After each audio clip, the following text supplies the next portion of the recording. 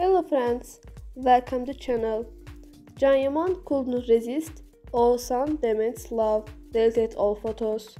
Actress Demet Özdemir and singer Oğuzhan Koç's new love affair hit the magazine agenda like a bombshell. Can Yaman, who could not stand the closeness of the couple who could no longer hide their love, deleted his photos with Demet Özdemir, with whom he was also involved in love rumors. Demet Özdemir and Can Yaman started to have a love affair after they started together in the TV series Erkenci Kuş and broke up after a while.